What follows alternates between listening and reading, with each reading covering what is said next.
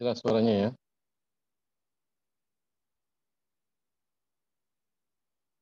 Bisa didengar nggak? Bisa Ustaz. Bagus.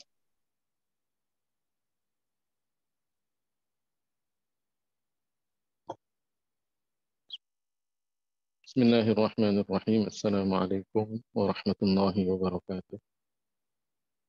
Alhamdulillahi rabbil alamin. Wassalatu wassalamu ala sayyidina Muhammadin Tuhal Amin. وعلى إخوانه النبيين والمرسلين ومن تبعهم بإحسان إلى يوم الدين اللهم لا سهل إلا ما جعلته سهلا وأنت يا حي يا قيوم تجعل الحزن إذا شئت سهلا اللهم علمنا ما ينفعنا وانفعنا بما علمتنا وزدنا علما ونعوذ بك من حال أهل النار أما بعد Alhamdulillah, puji syukur kita kepada Allah, salawat dan salam semoga tercurahkan kepada baginda kita Nabi besar Muhammad sallallahu alaihi wasallam. Kaum muslimin dan muslimat yang dimuliakan oleh Allah taala, mari kita niatkan di dalam kajian ini benar-benar ikhlas untuk mencari ilmu agama, mendapatkan dari Allah taala agar kita mendapatkan pahala dari Allah taala dan mendapatkan ilmu yang bermanfaat Kita akan melanjutkan pembahasan tentang uh, tema kita yang judul besarnya adalah moderasi yang kebablasan.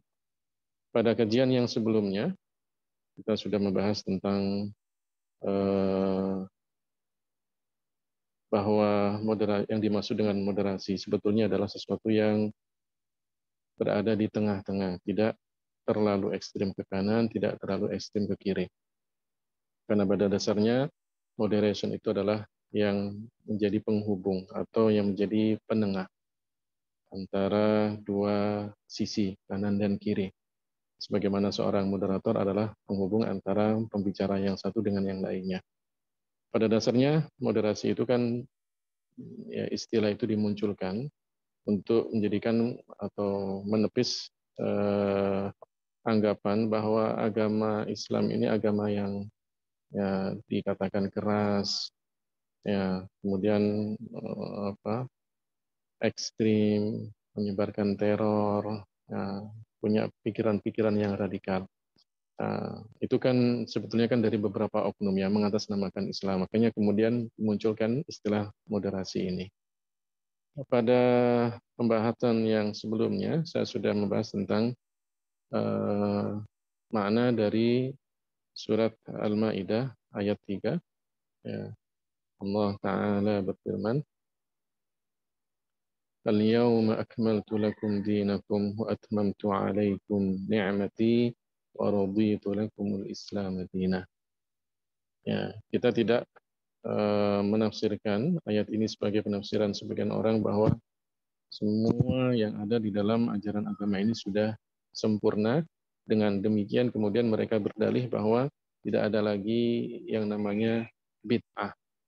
Ya, sesuatu yang baru yang kemudian dimunculkan setelah wafatnya Rasulullah Shallallahu alaihi wasallam sehingga kalau kemudian muncul sesuatu yang baru itu maka dikatakan bid'ah yang dolalah. Semua yang baru mereka anggap dolalah karena mereka berdasarkan ayat ini bahwa semuanya sudah sempurna.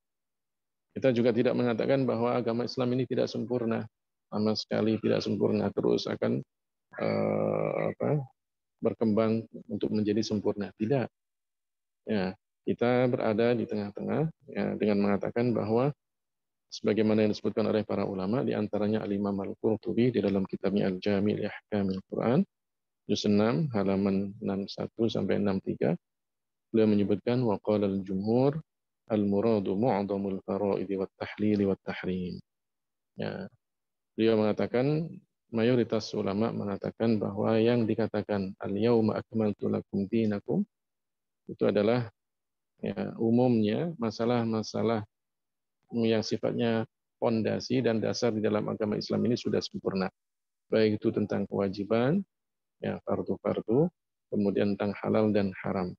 Ya, sehingga kemudian dari sini para ulama mengatakan jika kemudian muncul sesuatu yang sifatnya adalah uh, ya cabang, maka itu butuh eh, apa jawaban tersendiri dari para mustahid berdasarkan ya apa yang ada di dalam Al-Qur'an dan hadis Rasulullah Shallallahu alaihi wasallam.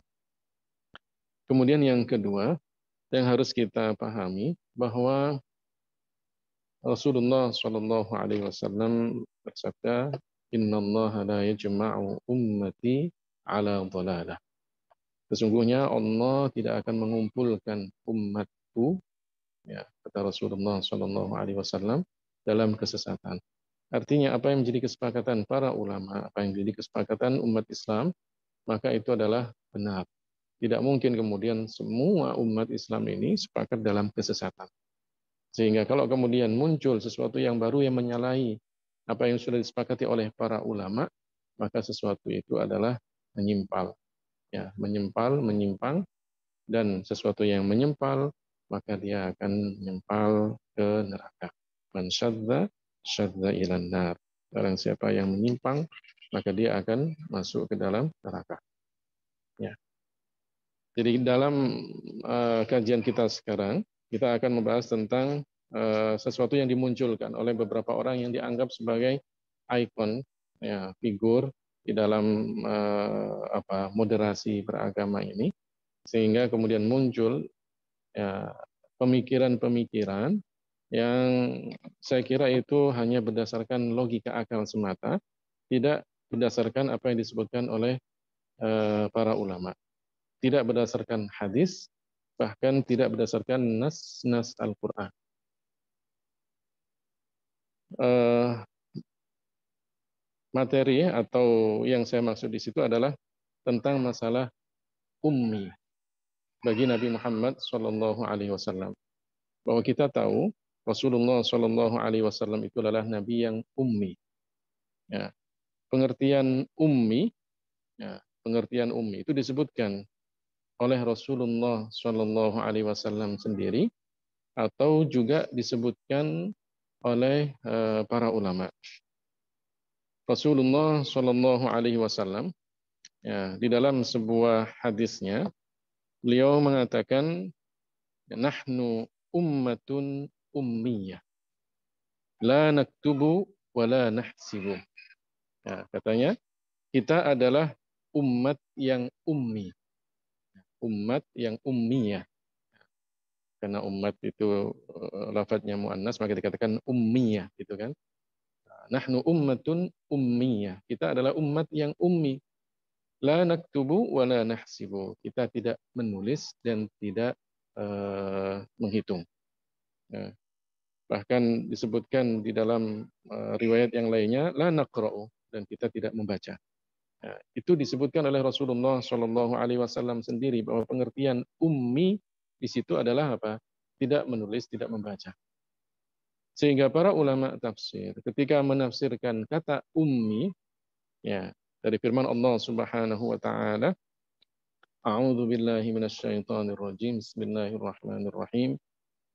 هو الذي بعث في الأميين رسولا منهم يتلو عليهم آياته ويزكيهم ويزكيهم ويعلمهم الكتاب والحكمة وإن كانوا من قبل لفي ضلال مبين Dialah Allah yang mengutus di antara orang-orang yang ummi, seorang rasul di antara mereka yang membacakan pada mereka ayat-ayatnya Ya, ayat-ayat Allah dan membersihkan mereka dan mengajarkan mereka Al-Quran dan hikmah hadis-hadis Rasulullah Shallallahu Alaihi Wasallam. Padahal sebelumnya mereka termasuk orang-orang yang dalam kesesatan yang nyata. Nah, para ulama tafsir ketika menafsirkan kata ummi di dalam surat uh, Al-Jum'ah nah, ayat 2 ini, nah, mereka mengatakan di antaranya siapa? Uh, Lima Masyinqiti ya, di dalam kitab tafsirnya Adwaul Bayan fi Idahil Quran bil Quran. Apa kata beliau? Al-ummiyun ayil Arab. Ya, al-ummi itu adalah orang-orang Arab. Wal ummi kata ummi huwallazi la yaqra wa la yaktub. Yang tidak membaca, tidak menulis. Wa kadzalika kana katsirun minal Arab. Ya. Ya, dan itu sudah menjadi apa? Tradisi orang Arab ketika itu. Kebanyakan mereka apa? Tidak membaca, tidak menulis.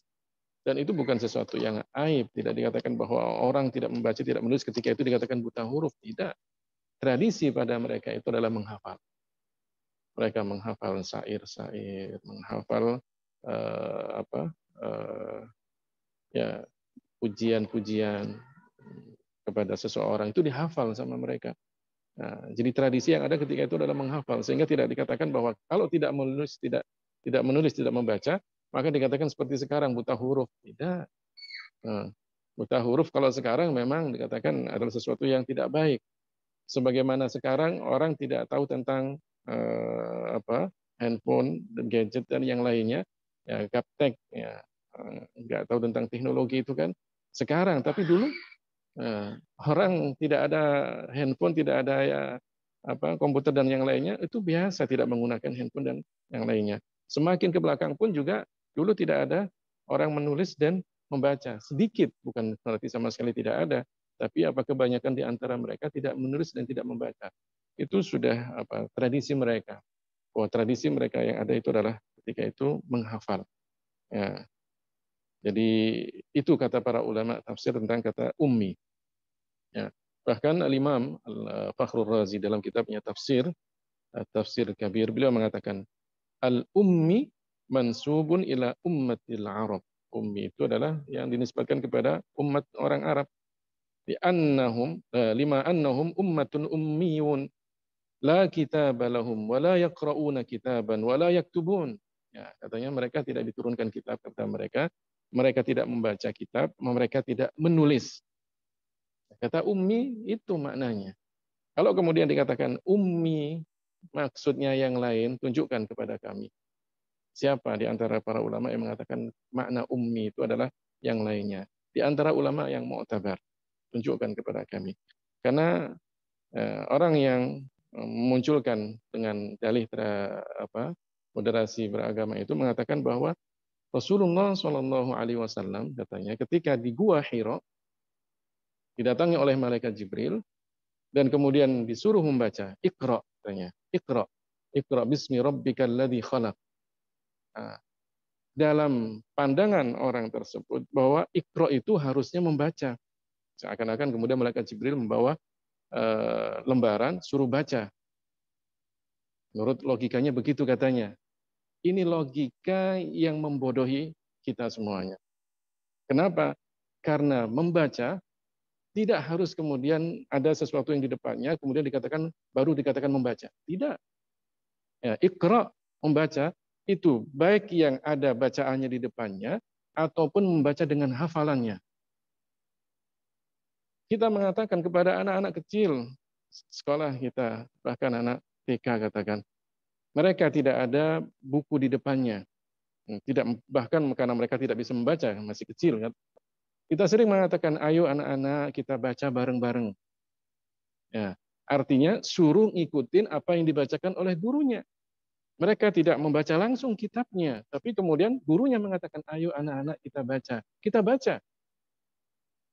Bahkan kalau kita mengatakan kepada orang yang buta, ya, orang yang buta tidak bisa melihat, apakah kemudian kalau dia hafal Al-Quran, ya kita tidak mengatakan, ayo jangan apa, eh, apa tidak pakai istilah membaca. Tetap kita katakan, ayo baca Al-Qurannya ya kepada orang yang buta. Ayo baca Al-Qur'annya saya simak, ya kan? Apakah kemudian kita pakai istilah yang lain karena dia buta? Tidak. Membaca itu kata para ulama, membaca baik itu yang tertulis ataupun membaca karena dari hafalannya. Dikatakan membaca Iqra. Para ulama pun sepakat itu. Jadi jangan kemudian membodohi kita sebagai umat bahwa kemudian membaca itu bahwa katanya kemudian malaikat Jibril membawa selembar ya Katakan lembaran yang di situ bertuliskan ikro, bacalah. Tidak. Kalau seandainya seperti yang kata Anda katakan, mana kertas itu? Mana? Siapa yang kemudian mengatakan bahwa ada kertasnya waktu itu? Tulisan siapa itu? Sebutkan tulisan siapa? Kertasnya mana? Kalau kemudian dikatakan bahwa Rasulullah Shallallahu Alaihi Wasallam pandai menulis, ya, pandai menulis, maka tulisan Rasulullah pasti akan dijaga oleh sahabat-sahabat Rasulullah. Sebagaimana mereka menjaga as-sahifa as-sadiqah, suhuf-suhuf, lembaran-lembaran yang ditulis oleh para penulis Al-Quran pada masa Rasulullah Shallallahu Alaihi Wasallam dijaga ya sepeninggal Rasulullah Shallallahu Alaihi Wasallam dibawa oleh Khalifah Abu uh, Abu Bakar As-Siddiq. Kemudian diberikan kepada putrinya Asma binti Abi Bakar. Ya kemudian diberikan kepada Sayyidina Umar. Bahkan kemudian uh, pada masa Khalifah Utsman bin Affan ketika beliau mengumpulkan ya lembaran-lembaran Al-Quran, tulisan-tulisan Al-Quran itu, maka diambil oleh beliau sebagai rujukan utama. Di samping kemudian beliau mengajak para penulis wahyu untuk apa eh, membacakan hafalan-hafalan mereka, apa yang mereka tulis ya, ketika eh, diperintahkan oleh Rasulullah Shallallahu Alaihi Wasallam. Jadi kalau seandainya Rasulullah dibawakan oleh malaikat Jibril tulisan, mana tulisannya? Ya. Mana tulisannya? Apakah eh, ada tulisannya? Naskahnya ada nggak? Kalau seandainya Rasulullah pinter menulis, mana tulisan Rasulullah? Buktinya mana? Berikan kepada kami. Nggak ada. Tidak ada. Bahkan di dalam hadis yang sahih. Ini hadis sahih. Riwayat Al-Imam Al-Bukhari di dalam kitab sahihnya. Al-Imam An-Nasai di dalam kitab Al-Khosais. Dan Al-Imam Ahmad di dalam musnadnya. Saya sebutkan tiga. Dan itu masih banyak yang lainnya. Apa itu? Ketika Rasulullah Wasallam melakukan perjanjian Hudaybiyah dengan seorang yang bernama Suhail, ya Suhail bin Amr. Ya. Suhail uh, itu uh, ingin mengatakan, ya mengatakan bahwa tulisan yang namanya tulisan di situ ada Rasulullah, ya Rasulullah itu suruh dihapus. Kata sahabat yang ketika itu uh, bersama Rasulullah Shallallahu Alaihi Wasallam, itu sahabat Ali, saya nggak akan menulis, uh, saya akan nggak akan menghapus tulisan itu. Karena itu yang didiktikan oleh Rasulullah Shallallahu Alaihi Wasallam. Maka kemudian apa kata Rasulullah? Arini makanaha. Tunjukkan kepada saya mana tulisan itu. Yang namanya Rasulullah. Ditunjukkan. Fa'araituhu famahaha. Kemudian saya tunjukkan tulisan Rasulullah itu. Kata Sidin Ali. Kemudian dihapus oleh Rasulullah. Kalau Rasulullah pintar membaca, Rasulullah tidak kemudian mengatakan mana tulisannya. Akan dibaca oleh Rasulullah sendiri. Ini kata para ulama, dalil yang jelas di dalam kitab hadis. Hadis sahih. Ya, sahih Bukhari. Bahkan kemudian disebutkan di dalam uh, kitab Al-Khasais uh, Lin-Nasai. Kemudian juga kitab Musnad Al-Imam Ahmad. Ya, bahwa Rasulullah minta ditunjukkan mana tulisan Rasulullah itu. Kemudian beliau hapus. Kalau seandainya beliau pintar membaca, maka apa? Langsung diberikan kepada Rasulullah dan Rasulullah akan menghapusnya sendiri sekarang beliau pandai membaca. Jadi ummi di sini adalah tidak menulis, tidak membaca, ya. Dan itu menunjukkan apa? Bahwa Al-Qur'an bukan karangan Rasulullah Shallallahu alaihi wasallam umminya Rasulullah Shallallahu Alaihi Wasallam menunjukkan apa dalil sebagai kenabian Rasulullah Shallallahu Alaihi Wasallam. Karena Rasulullah meskipun ummi beliau mempunyai ilmu yang luar biasa ya. Ilmu tentang kejadian-kejadian yang telah lalu dan apa yang akan datang sebagaimana yang diberitahukan oleh eh, yang diberitahukan oleh Allah taala. Dan umminya Rasulullah ya bahwa beliau adalah seorang yang ummi, tapi kemudian beliau adalah orang yang paling fasih. Bahkan makhluk yang paling pinter. Imam dari para nabi, penghulu dari semua para rasul. Itu Rasulullah Shallallahu Alaihi Wasallam. Jadi sifat ummi bagi Rasulullah Shallallahu Alaihi Wasallam tidak mengurangi derajat kenabiannya. Justru itu menunjukkan bahwa Rasulullah Shallallahu Alaihi Wasallam adalah orang yang cerdas dengan hafalannya yang sungguh luar biasa beliau menyampaikan tentang wahyu-wahyu Rasulullah wahyu-wahyu Allah Subhanahu wa taala. Ya. Kemudian apa makna iqra? Ya, kalau kemudian iqra katanya suruh baca dan ada tulisannya. Ya. Para ulama tafsir, kembalilah kepada para ulama tafsir. Apa makna iqra di situ? Ya, para ulama tafsir mengatakan bahwa ikra di situ artinya apa? Ya, ikra bismi rabbikal ladzi khalaq. Kebanyakan para ulama tafsir mengatakan udkur ismallah. Sebutkan nama Allah mustaftihan bihi qira'ataka. Sebagai pembuka dengan menyebut bismillahirrahmanirrahim bacaan kamu. Bahwa alladzi khalaqal khalaiq dialah Allah yang telah menciptakan apa makhluk-makhluknya.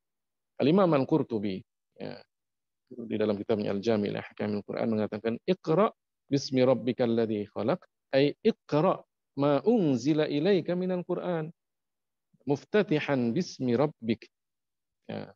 Iqra, bacalah apa yang diturunkan kepadamu dari Al-Qur'an dengan apa? Memulai dengan bismi rabbik, dengan nama Allah, dengan nama Tuhanmu. Ya. Wa huwa an tadhkura tasmiyata fi ibtida'i kulli surah, yaitu kamu uh, memulai dengan bismillah ya pada setiap pembukaan ayat. Bahkan juga At-Tabari pun juga mengatakan Iqra ya Muhammad bidzikri bidzikri rabbik. Bacalah wahai Muhammad dengan menyebut nama Tuhan. Ya, Tuhanmu. Jadi ini artinya bahwa Rasulullah Shallallahu alaihi wasallam ya diperintahkan oleh Allah ketika itu melalui malaikat Jibril untuk membaca, mengikuti bacaan ya, apa yang dibacakan oleh malaikat Jibril. Biasa. Jangan dianggap bahwa kemudian oh kan Allah kan tahu katanya. Allah kan tahu kalau Rasulullah tidak bisa membaca kok disuruh membaca. Itu berarti tidak benar. Bagaimana tidak benar? Kalau semuanya diakal-akalin seperti itu, maka kita akan bisa mengatakan tentang firman Allah Ta'ala. Ya. Dan ini juga tidak benar. Cuma sebagai contoh saja untuk mengatakan bahwa Al-Quran tidak diakal-akalin. Ya. Al-Quran berdasarkan nas-nas yang disampaikan oleh Rasulullah tafsirnya dan juga para ulama. Ya.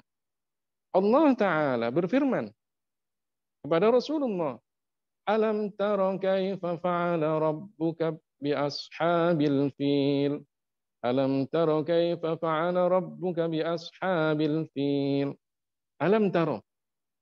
Bukankah kamu tidak melihat kalau diartikan begitu ya? Bukankah kamu tidak melihat wahai Muhammad tentang apa yang terjadi pada apa tentara-tentara gajah? Apa tidak tahu ketika itu bahwa Allah menurunkan ayat ini kepada Rasulullah dan Rasulullah Shallallahu Alaihi Wasallam ketika itu masih kecil. Kita tahu bahwa Rasulullah lahir pada tahun gajah. Apakah kemudian anak kecil melihat peristiwa itu? Kalau Al-Quran hanya diakal-akalin seperti ini, bagaimana kemudian kita memahami ayat-ayat seperti ini? Alam taro, bukankah kamu tidak mengetahui ya Muhammad? Itu maksudnya begitu. Bukan berarti kemudian Rasulullah tidak melihat. Ya. Karena memang Artinya bukan alam taro, bukankah kamu tidak melihat wahai Muhammad apa yang terjadi pada apa uh, apa peristiwa gajah itu? Tidak. Alam taro kaifa fa'ala rabbuka bi ashabil fil ketika itu Rasulullah masih kecil. Ya, bagaimana kemudian bisa melihat kejadian itu? Tidak. Kalau diakal-akalin seakan-akan bagaimana Allah memberikan wahyu seperti ini sedangkan Rasulullah masih kecil. Tidak kan? Ya, itu kan pemberitahuan dari Allah bahwa Allah ingin memberitahukan kepada Rasulullah alam taro ay alam ta'lam. Alam ta'lam, bukankah kamu mengetahui? Karena diberitahukan oleh Allah Ta'ala bahwa yang terjadi pada waktu itu tentara gajah ingin menyerbu Ka'bah dan kemudian apa? dihancurkan oleh Allah Ta'ala. Jadi Al-Quran bukan hanya ya dipahami secara akal semata. Al-Quran ya kita pahami dari mana apa yang disebutkan oleh Rasulullah Wasallam, para ulama-ulama kita dan akal itu adalah sebagai pembenar, sebagai bukti akan kebenaran apa? Nas-nas Al-Quran. Akal mendukung kebenaran nas-nas Al-Quran. Jadi Rasulullah Shallallahu Alaihi Wasallam adalah nabi yang ummi. Walladhi ba'atha fil ummiyina rasulah. Dialah Allah yang mengutus di antara orang-orang yang ummi seorang rasul. Ya. Kemudian pada ayat yang lainnya, ya, pada ayat yang lainnya, Allah Ta'ala menyebutkan, dan ini juga menjadi dalil bagi kita bahwa Rasulullah tidak menulis, ya, tidak membaca. Dalam surat Al-Ankabut, ayat 48, Allah Ta'ala berfirman, Ma kunta tatlu min qablihi min kitab, wa la biyaminik dan engkau tidak membaca sebelumnya dari kitab dan tidak menulis dengan tangan kananmu. Allah sendiri yang menyebutkan bahwa Rasulullah Shallallahu Alaihi Wasallam tidak menulis, tidak membaca. Apa artinya kalau kemudian dikatakan demikian? Ya, bahwa Rasulullah katanya tidak ummi. Bahkan mengatakan bahwa orang yang mengatakan Rasul ummi itu telah menghina Rasulullah. Seakan-akan umat ini dari dulu sampai sekarang yang mengatakan Rasulullah adalah seorang yang ummi menghina Rasulullah. Apa itu artinya? Menuduh mayoritas umat ini dalam kesesatan. Ya, menghina Rasulullah itu sesat. Menghina Rasulullah itu hukumnya kufur. Menuduh bahwa umat ini dalam kesesatan, dalam kekufuran, itu sungguh luar biasa akan kembali kepada orang yang mengatakan demikian. Inna Allah la yajma'u ummati ala dhalalah. Sungguhnya Allah tidak akan mengumpulkan umatku ini, kata Rasulullah, dalam kesesatan. Kalau kemudian semua yang mengatakan bahwa Rasulullah adalah seorang Rasul yang ummi, itu telah menghina Rasulullah. Berapa banyak yang menghina Rasulullah menurut Anda?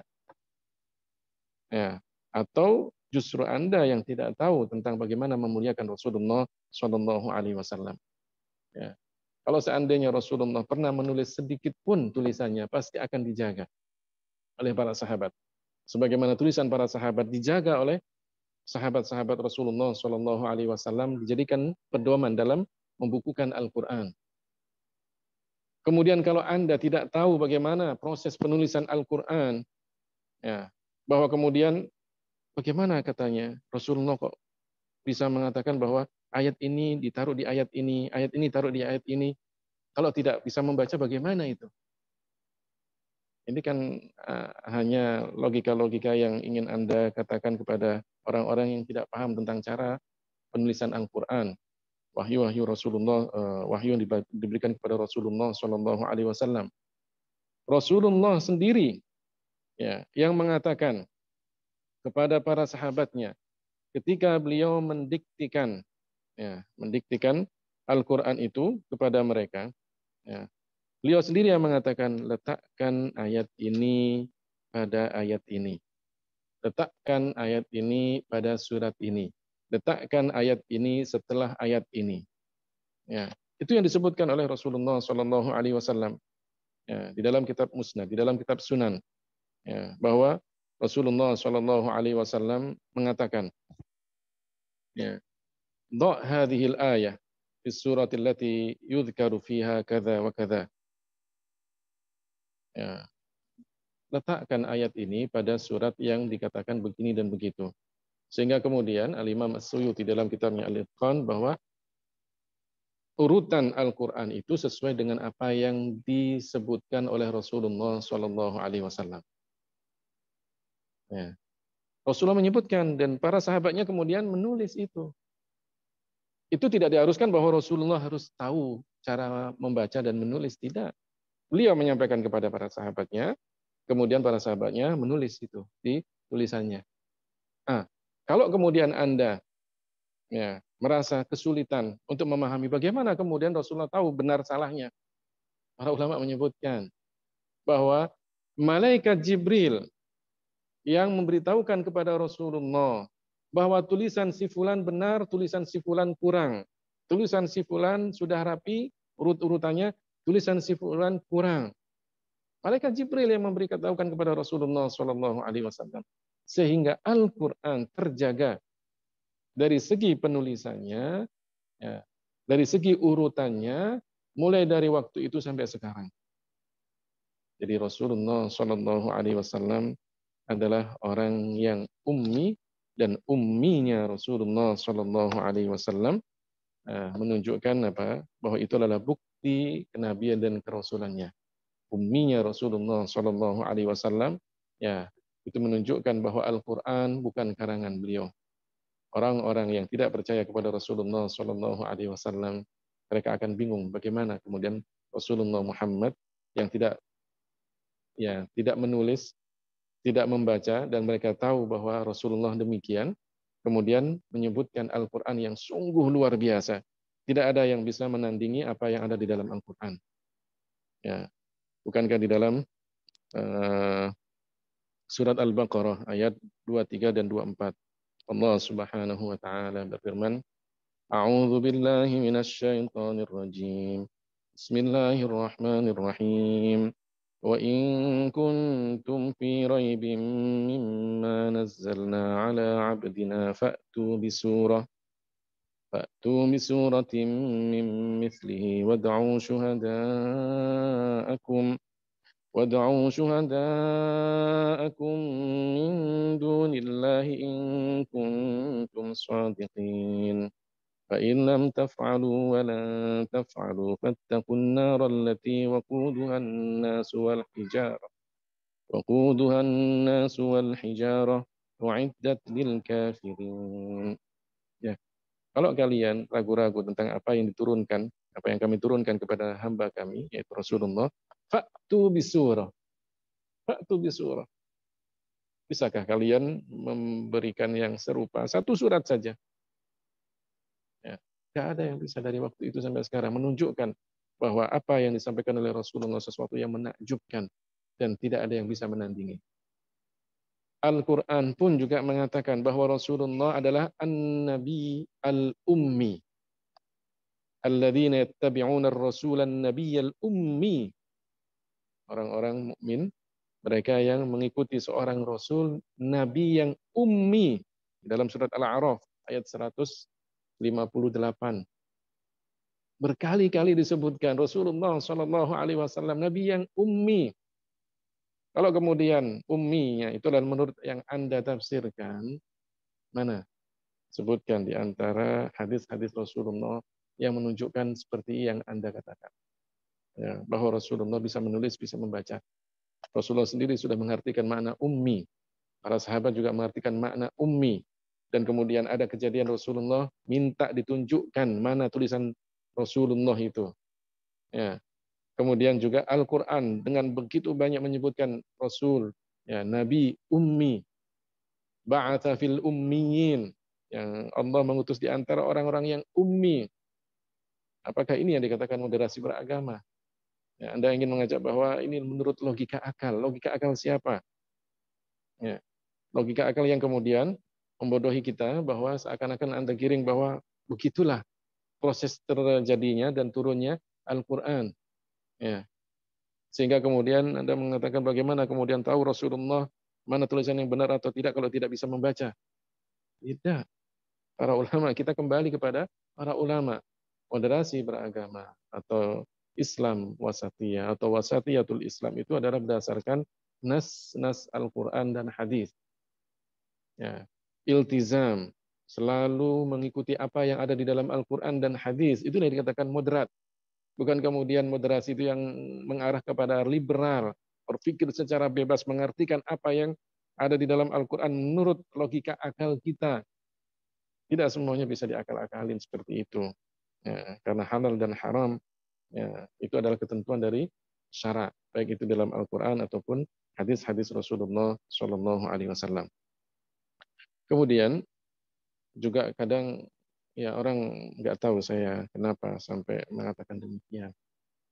Ya, dan itu belakangan viral. Saya sebenarnya kalau membahas tentang masalah-masalah seperti ini banyak sekali dan habislah waktu kita hanya untuk seperti ini. Artinya menjawab orang-orang yang terlalu banyak yang menurut menurut sebagian orang adalah sudah kadung dianggap sebagai kiai, ustadz, gus, ya terkenal dan kemudian banyak pengikutnya, banyak followernya. Setiap kali videonya muncul ribuan, ya bahkan sampai jutaan orang melihatnya, sehingga kemudian kalau kita bicara tentang beliau-beliau ini, maka kemudian kita tidak akan dianggap. Padahal bukan masalah itu. Ya, kebenaran itu tidak dilihat dari siapa yang mengatakan. Laisal haqqu yurafu birrijal. Kebenaran tidak dilihat dari orang-orang yang mengatakan. Innamar rijalu yurafuna bil haqq. Tapi sebaliknya, orang itu akan dianggap benar atau tidak dari apa? Ucapan, tingkah lakunya yang sesuai dengan apa? Al-Quran atau uh, nas-nas Al-Quran dan hadis atau tidak. Ya. Sampai berani mengatakan bahwa katanya roh itu bukan makhluk. Ya Allah, bagaimana itu? Ya, padahal kita pun ya dari dulu nas-nas Al-Quran, hadis-hadis Rasulullah. Bahkan kemudian ijma' para ulama mengatakan bahwa segala sesuatu selain Allah makhluk. Ya pertanyaannya kan gampang. Ya kalau kemudian dikatakan roh itu bukan makhluk. Pertanyaannya kan gampang. Roh itu Allah apa bukan? Kalau Anda mengatakan roh itu Allah, itu sudah luar biasa kesesatannya. Allah bukan roh. Para ulama mengatakan Allah bukan roh. Ya. Kalau kemudian Anda mengatakan bukan Allah, ya berarti kan selain Allah. Segala sesuatu selain Allah makhluk. Ya. Al min khaliqin ghairullah. Adalah adakah pencipta selain Allah? Artinya tidak ada pencipta selain Allah. Wa khalaqa kulla. Dia Allah yang menciptakan segala sesuatu. Ya. Kulla syai'. Syai' itu apa? Kalau saya kira sudah pintar baca uh, Al-Quran dan kemudian mengartikan nas-nas Al-Quran dan juga secara kajian nahwunya juga saya kira sudah ngelotok gitu kan. Syai' maksud syai' apa? Segala sesuatu selain Allah. Allah yang menciptakannya. Ya kan? Kok kemudian dikatakan roh itu bukan makhluk? Bagaimana? Ya. Bagaimana kemudian dikatakan roh itu bukan makhluk? Kalau kita membaca firman Allah Ta'ala tentang Nabi Adam, atau tentang Nabi Isa. Ya, disebutkan tentang Nabi Adam. Nah, min ruhi dari ruhku atau tentang Nabi Isa. Fanafakhna fihi min ruhina. Ya. Fanafakhna fihi min ruhina. Surah At-Tahrim ayat 91. Ya, itu apa artinya? Ya, lihat apa yang disebutkan oleh para ulama tafsir Al-Imam Al-Fakhrul Razi dalam kitabnya Tafsir Kabir ya, juz 19 halaman 144 apa kata beliau? Wa inna ma adhafa Allah subhanahu ruha Adam ila nafsihi tasyrifan lahu wa takrima. Sungguhnya Allah ya menyandarkan ya, nama Allah kemudian uh, di situ ada disebutkan min ruhi dari ruhnya ya kepada menyandarkan ruhnya Nabi Adam kepada Allah taala apa tasyrifan lahu wa takrima untuk memuliakan Nabi Adam alaihissalam.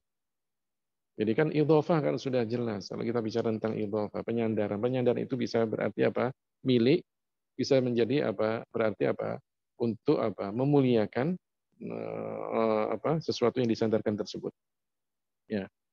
Uh, kalau kita mengatakan kudratullah, ya sifat bagi Allah. Sifat bagi Allah. Allah mempunyai sifat kudrah. Ilmu Allah, mempunyai sifat ilmu. Ya. Tapi kalau kita mengatakan baitullah, nah, itu kan nama idhafah, penyandaran untuk apa? Memuliakan. Ka'bah itu baitullah. Bahwa Ka'bah adalah bangunan yang dimuliakan oleh Allah Ta'ala. Sebagaimana kalau kita membaca ya, firman Allah tentang Nabi Saleh dan onta itu. Naqatallah. Naqatallah. Ontanya Allah. Ya, kenapa kemudian dikatakan onta itu di sandarkan kepada Allah. Onta yang dimuliakan oleh Allah Ta'ala karena onta itu sebagai tanda mukjizatnya ya, sebagai bukti akan kenabian Nabi uh, Saleh alaihi salam. Jadi tidak bisa kemudian dikatakan ruh. Ya, itu tidak makhluk, bukan makhluk. Bagaimana? Semua ruh makhluk. Ya, cuma para ulama membagi ada ruhun musyarrafah, ada ya ruhun khabith. Ya, arwahun musyarrafah, arwahun khabitha. Itu yang disebutkan oleh para ulama. Ruhnya para nabi ya, adalah ruhun, ya, arwahun musyarrafah. Ruh-ruh yang dimuliakan oleh Allah Ta'ala. Ya. Sedikit saya tambahkan ya, ya tentang masalah ini. Kemudian kita uh, akhiri karena sebenarnya banyak sekali tapi dua hal ini nanti akan bisa menjadi uh, pertimbangan bagi kita bahwa tidak semuanya yang uh, dianggap bahwa uh, apa ya jadi rujukan uh, atau dikatakan nyanyi buya bus dan yang lainnya. Kemudian kalau mengatakan kata-kata yang salah tetap kita ikutin. Tidak.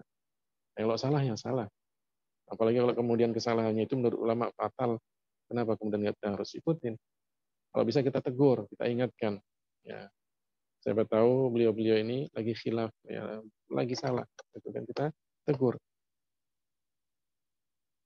Apa kata Al-Imam Al-Ash'ari? Ya. Fala yajuzu wasfullahi birruhi. Tidak boleh mensifati Allah dengan ruh.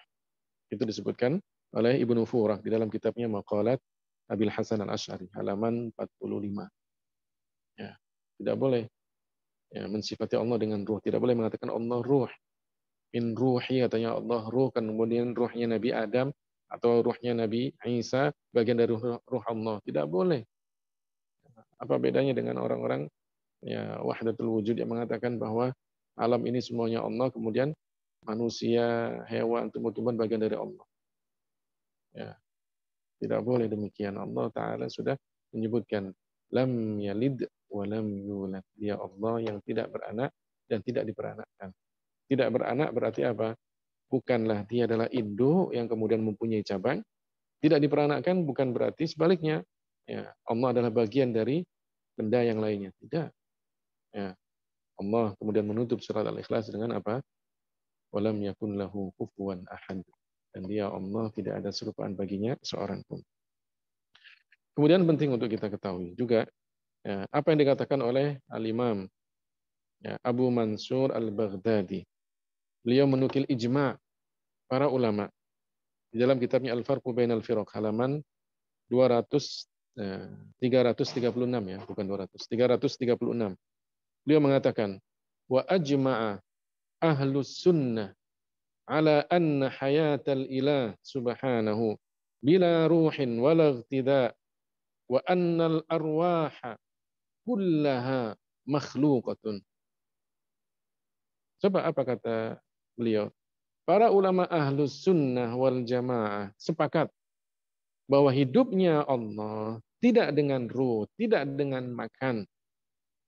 Yang ingin kemudian saya garis bawahi, wa annal arwah kull wa annal arwaha kullaha makhluqah dan ruh-ruh itu semuanya makhluk. Ijma para ulama. Terus mau apa? Kalau kemudian dikatakan bahwa ruh eh, bukan makhluk. Ijma para ulama. Dan ulama kita tidak akan ijma dalam kesesatan. Seakan-akan kemudian hanya beliau yang tahu, yang lainnya tidak tahu. Ya karena mungkin belum sempat atau belum sampai bacaannya sebagaimana yang beliau-beliau baca. Tidak. Ya, tidak. Ya, ini sebagai peringatan. Ya, ya, mudah-mudahan bisa diterima peringatan dari saat ini. Ya. Juga dikatakan, qala al-Imamul Mustahid Al-Hafidh Muhammad Ibnu Nasr Al-Marruzi. Ya. Beliau mengatakan, Ar-ruhu muhdathatun bi ijma'il ummah. Katanya apa? Ruh itu muhdatsah, baru. Bukan makhluk, eh, bukan bukan khalik, bukan uh, ruh itu baru, ya, bukan qadim. Ya, ruh itu makhluk bi ijma'il ummah. Ya, bi ijma'il ummah dengan ijma' umat Islam.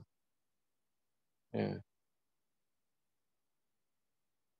Kemudian disebutkan oleh uh, seorang ahli fikih dari madhab Hambali, uh, Hanafi, uh, Syekh Abdul Ghani, Abdul Ghani An-Nadusi, dalam kitabnya Asrarus, uh, Asrarus Syariah. Dia mengatakan, yakfuru man wasafallaha birruh. Ya, telah kufur orang yang mensifati Allah dengan ruh. Ini nas-nas para ulama tentang masalah ruh. Jadi, apa yang telah saya sampaikan itu hanya bagian kecil dari apa yang disebutkan dan mungkin viral di beberapa media uh, tentang yang pertama mengatasnamakan moderasi beragama atau dia yang di antara yang sebagai dikatakan figur dalam moderasi beragama. Yang kedua tentang orang yang mungkin dianggap sebagai ikon uh, uh, di dalam hal-hal yang sifatnya adalah keagamaan. Kemudian banyak dijadikan rujukan setiap kajian-kajiannya. Saya kira ini sedikit ya, dari beberapa hal yang mungkin ya, uh, dalam hal ini ya, mereka salah dan kesalahan itu bukan kesalahan yang ringan tapi kesalahan yang fatal. Makanya makanya ya mimba bin nasihat ya, karena kita ingin memberikan nasihat kepada saya pribadi dan kepada yang lainnya terutama yang mau mendengarkan uh, kajian ini, bahwa uh, sesuatu itu tidak harus kemudian diambil dari orang yang sudah maksudnya dikenal, figur, uh, kemudian banyak pengagumnya tidak. Sesuatu itu diambil jika kemudian apa berdasarkan nas-nas Al-Quran dan hadis-hadis Rasulullah Shallallahu Alaihi Wasallam, maka kemudian kita ambil dan kita jadikan sebagai rujukan. Sekali lagi, ya moderasi beragama itu harus ya berdasarkan Al-Quran dan hadis-hadis Rasulullah Shallallahu Alaihi Wasallam. Jangan sampai kemudian menggunakan akal ya saja, ya menjadikan pijakannya adalah logika akal semata, tapi kemudian justru menyalahi apa yang sudah disepakati oleh para ulama. Karena menyalahkan para ulama dan menyalahkan umat Islam secara keseluruhan, maka sesungguhnya itu adalah sesuatu yang fatal. Demikian eh, kajian yang bisa saya sampaikan. Eh, kalau kemudian kita mau mengkaji semuanya itu sungguh luar biasa banyaknya. Ya, kesalahan-kesalahan bahkan kemudian sempat mengatakan bahwa eh, Khadijah menyembunyikan apa eh, agama Nasraninya sehingga kemudian Khadijah tidak mau Rasulullah melakukan poligami itu dari mana ya mengatakan demikian Seakan-akan itu kan menyalahkan malaikat Jibril. Seakan-akan malaikat Jibril tidak tahu tentang masalah itu. Bahkan kemudian malaikat Jibril siapa yang mengutusnya? Allah. Seakan-akan kemudian ya Allah tidak tahu tentang masalah ini. Oh, kemudian Khadijah sampai wafatnya ya, dia menyembunyikan apa uh, Nasraninya sampai Rasulullah katakan tidak tahu bagaimana itu. Ya, mensifati Allah dengan tidak tahu itu luar biasa konsekuensinya bisa menjadikan seseorang kufur. Ya. Rasulullah Shallallahu Alaihi Wasallam sangat cinta kepada Khadijah. Beliau yang mengatakan ini ruziqtu hubbaha. Saya diberikan karunia cinta kepada Khadijah. Sungguh luar biasa. Sampai saking cintanya Rasulullah kepada Khadijah, Aisyah cemburu. Banyak sekali ya, kata-kata yang menunjukkan bahwa Aisyah cemburu kepada Khadijah. Ya, Sampai beliau Aisyah mengatakan seakan-akan di dunia ini nggak ada perempuan kecuali Khadijah wahai Rasulullah. Ya, Aisyah mengatakan bukankah anda ya qad abdalakallahu khairan minha Allah telah menggantimu dengan yang lebih baik daripadanya. Apa kata Rasulullah? Wallahi ma abdala ma abdalani khairan ma abdala ma abdala ma abdalani Allahu khairan minha. Demi Allah, Allah tidak menggantikan untukku yang lebih baik daripada Khadijah. Dialah Khadijah yang membenarkanku, percaya kepadaku di mana orang lain banyak mendustakanku. Dialah Khadijah yang beriman kepadaku di mana orang lain banyak mengingkari dan kufur kepadaku. Dialah Khadijah yang memberikan hartanya untukku di mana banyak orang lain yang enggan memberikan hartanya untukku. Begitu luar biasanya Khadijah. Sehingga Rasulullah Shallallahu Alaihi Wasallam itu cintanya kepada Khadijah. Ya, bukan berarti kemudian karena begitu Khadijah adalah orang yang menyembunyikan, itu kan menuduh. Ya, Khadijah bukan Muslim. Ijma para ulama, ijma umat Islam bahwa orang yang pertama kali membenarkan Rasulullah beriman kepada Rasulullah siapa? Khadijah. Ya. Dari kalangan perempuan Khadijah yang pertama. Dari kalangan laki-laki Abu Bakar yang pertama. Dari kalangan anak-anak Sayyidina Ali yang pertama. Itu ijma' oh, para ulama. Seakan-akan kemudian ulama nggak tahu, kecuali Anda saja yang tahu. Sungguh luar biasa. Saya kira kalau kita bahas tentang masalah ini banyak sekali.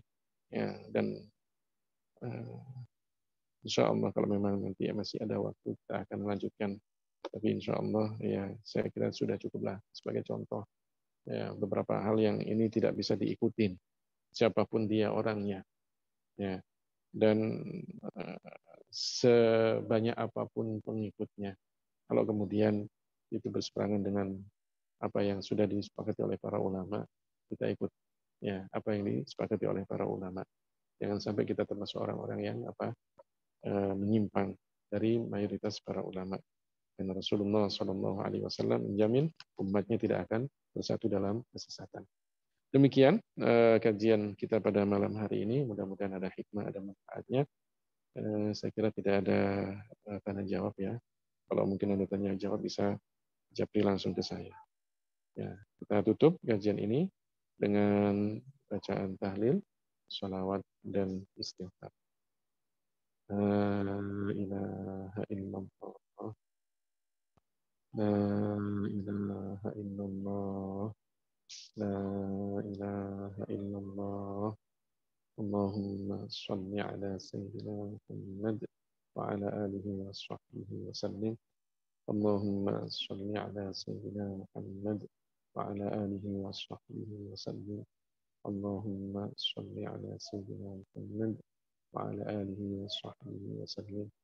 ربي اغفر لي ولوالدي وللمؤمنين والمؤمنات ربي اغفر لي ولوالدي وللمؤمنين ربي اغفر لي ولوالدي وللمؤمنين الحمد لله رب العالمين terima kasih ya, pada um, semuanya yang bisa eh, yang berkenan untuk mendengarkan dan bergabung di kajian ini. Ya, mudah-mudahan kita semuanya diberikan taufiknya oleh Allah Subhanahu wa taala sehingga kita tetap dalam apa yang digariskan oleh Rasulullah Shallallahu alaihi wasallam untuk membela akidah ahli sunnah wal jamaah ini. Barakallahu fikum wa ahsanallahu ilaikum. Warahmatullahi wabarakatuh.